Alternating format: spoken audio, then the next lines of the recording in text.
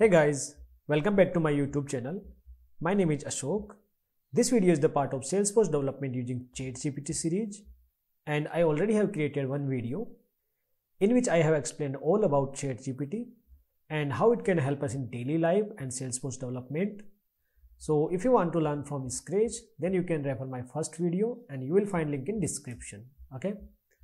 So guys, as of now, we heard a lot about ChatGPT, but today Practically, we will use this in our Salesforce development and we'll try to create some LWC components for multiple scenarios and use them in our Salesforce org without writing single line of code. So agenda is we will see how much it can help us in our day-to-day -day Salesforce development and also we will see how smart enough it is to write code and how much changes we have to do to run generated code. Okay. So today in this video, we will try to generate a component to show accounts list and play with other different scenarios as well. And at last, we will deploy the component to Salesforce org and use them in Salesforce pages. Okay. So let's quickly jump into practical implementation and open browser to generate component code. So here I already logged in into ChatGPT app. And here before going to start, I would like to highlight one thing here related to ChatGPT. That is, it doesn't know about the features which was released after 2021 because it was trained with until 2021 data. So it might not give you the solution with latest features, but you know, this is in beta version right now. And once it will be updated with latest data, then it will be more helpful for us. Alright, so let's start with our requirement that is generate LWC component to show accounts list. So let me type here create LWC component to show accounts list with apex method. And let's press enter and see what it will generate.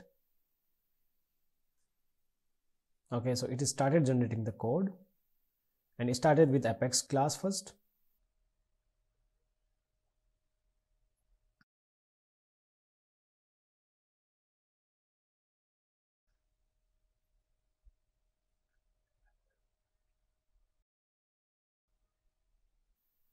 all right so it generated the code. Now let's see what all things are generated.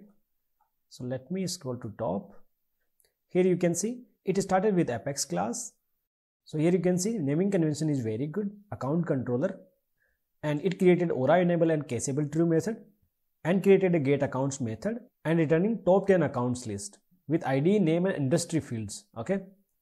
And second you can see over here a component html file. So here it is started with lightning card and title is also good accounts.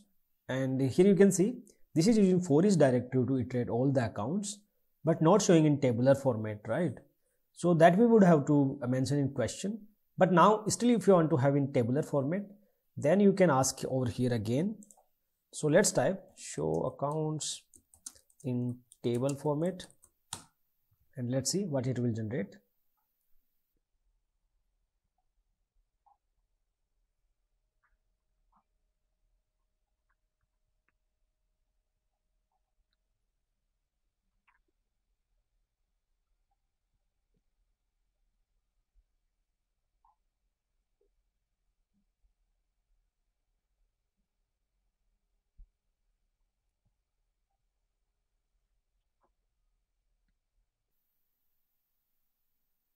all right now it generated again whole code. So let's see. So in the point number one again you can see the same account controller. And in point number two it is updated our html markup. And now you can see it generated table. And you can see the name and industry are the field. And and all here it is iterating the accounts list and printing the account name and account industry field. Okay. And one more thing you can notice here it is by default selecting id name and industry field. But what if if you want to show different fields? And you can see here it is using html data table. But what if if you want to show a lightning data table? So all these things you have to specify in the question. So here you should be more specific with your question and have to mention everything in detail that you want. So let me ask a detailed question again and see what it will generate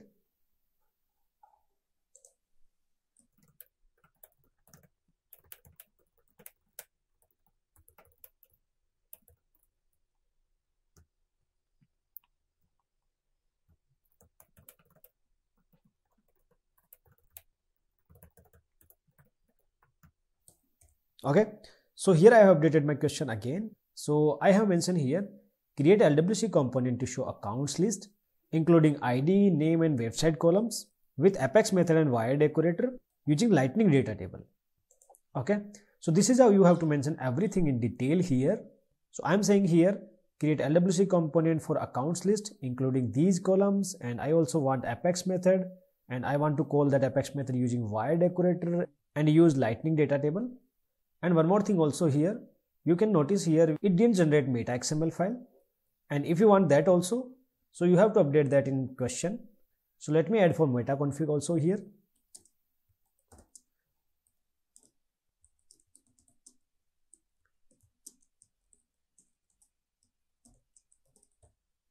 Okay. So now let me press enter and see what it will generate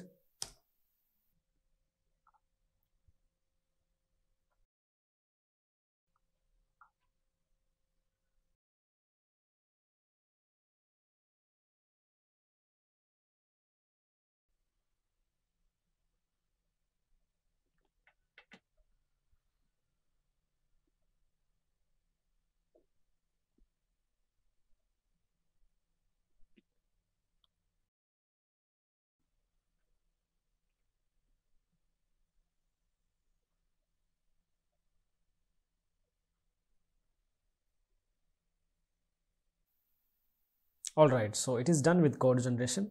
So let's see what it is generated. So first it is started with apex class. So you can see over here it is included website as well now but i don't know why it is included industry as well. And second it generated component html file. So now you can see here it is generated using lightning data table but it didn't add that card and conditions here but that's fine for now. And over here you can see the js file so here it imported our apex method and calling this method here using wire. And here it defined the columns uh, that we have specified like id name and website. And now it also generated the meta xml file. And you can see over here what it generated automatically like expose true and also defined the targets for app page record page and home page. Okay. So this is how it generated code for the lwc component. So now let's try to use this code in our lwc component so let's open VS Code and create new component.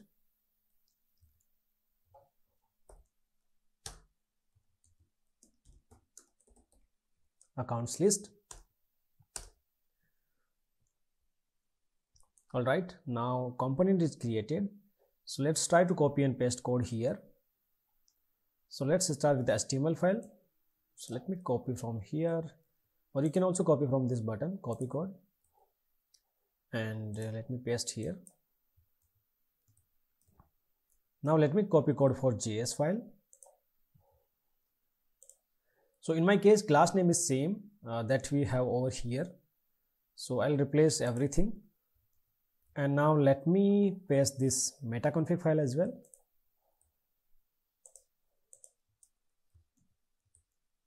All right. So i have uh, added code for all these three files now let's create that um, account controller apex class. So let me create apex class also.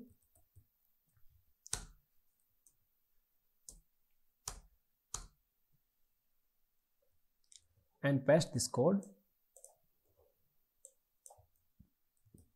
All right. So you can see how quickly we are done without changes. Now let's deploy our changes to org and preview and test there. So let me deploy it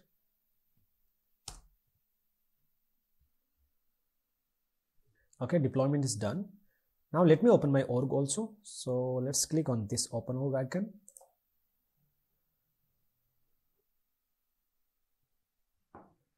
And let's open sales app. Okay so let me open this lwc accounts page. And we will add that component here. So let me edit this page So this is a builder interface. Here in top left part, you can find the all standard components and here in bottom part, you can see the custom components and this is our accounts list.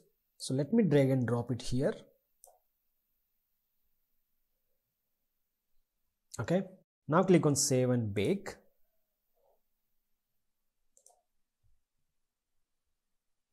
Alright, now you can see our component in Salesforce org, but data are not populating here. So I think something is wrong in code. So let's figure it out. In the controller file, this is a simple query. So this should be correct. And here in JS file, we are importing the method and uh, calling it using the wire decorator and assigning the response in accounts property. And here we are defining the columns. This is also correct. Now let's see in the HTML file. So here we are defining three attributes, data, columns and key field. Key field is correct. Columns is also fine. And here with accounts, we should also add data because with the wire decorator, we used to get data in data property. So this is the one mistake that we found in auto-generated code. So let's deploy and check it again.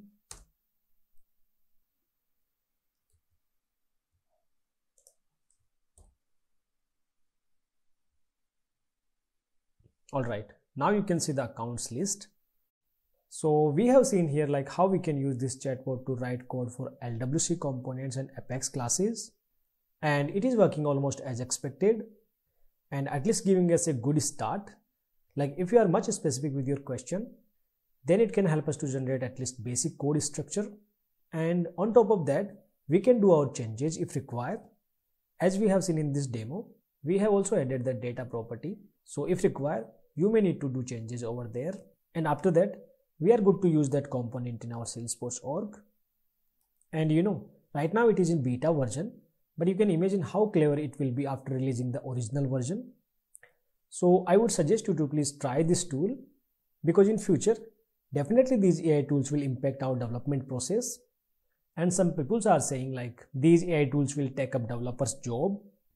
But I don't think so because as I said in previous video, this is only a chatbot. You can't rely 100% on this because as we have seen in implementation, it can generate incorrect code also. So developers are still required to run and test the generated code. But I can say it can help us to do our job quickly, but can't replace us if we are updated with latest technologies. So accept it is in positive way and give it a try to figure out where you can take advantage of this. Okay. So that's it for this video. If you want more videos to generate code for Apex, Batch Apex or LWC using ChatGPT, then do let me know in the comments. I hope you enjoyed this video. If yes, then please like and subscribe my YouTube channel. Thanks for watching this. I will see you in next video.